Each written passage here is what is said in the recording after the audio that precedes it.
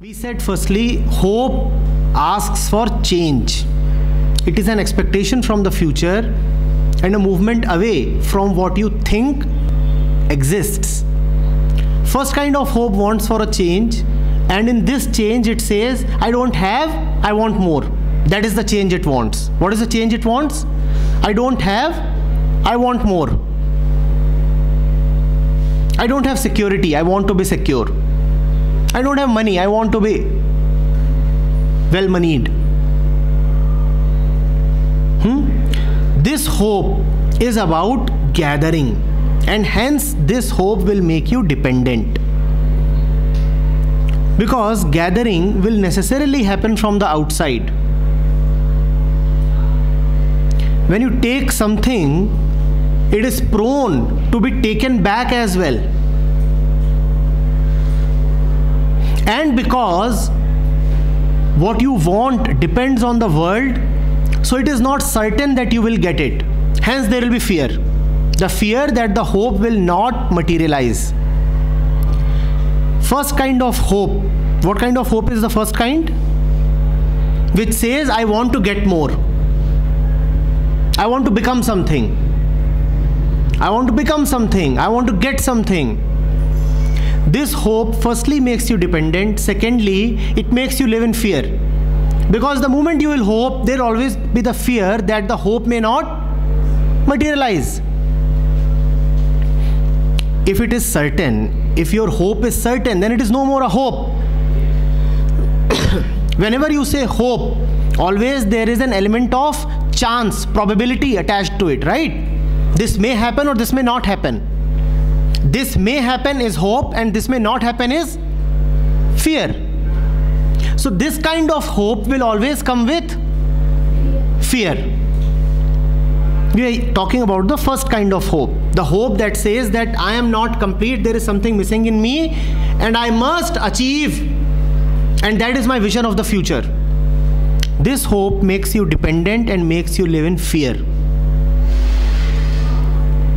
the second kind of hope says, I do not want to get something, I am already complete. I just want to get rid of something. First kind of hope says, I want to get something. Second kind of hope says, I want to get rid of something. Do you see the difference?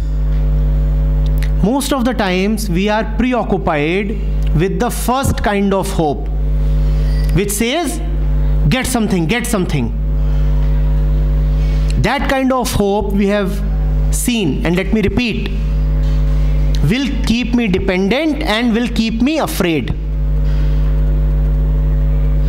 The second kind of hope, which says, I just want to get rid and discover my true nature, discover my aloneness and freedom. In this hope, you say, I'm already a diamond, just that a lot of dirt has gathered upon the diamond, and I want to get rid of the dirt.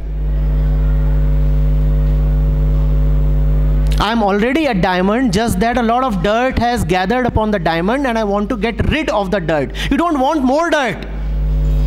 First kind of hope says, Give me more dirt. The second kind of hope says, I want to get rid of the dirt. Do you see the essential difference? Do you see that clearly? Unfortunately, most of the times, what kind of hope are we dealing in? The first kind or the second kind? The first kind. If you must hope, hope for the second kind. Hope to find yourself. Hope to get rid of your bondages hope to get rid of all that the society has enforced upon you hope to get rid of your fear you don't have to achieve anything. You just have to get rid of stuff. You are already perfect. You don't have to achieve anything. You are wonderful beautiful complete. You are diamonds. What can a diamond want? What more can be added to it? Just that the dirt can be removed. So hope to get rid of the dirt. Get rid of not get get rid of. Clear? Hmm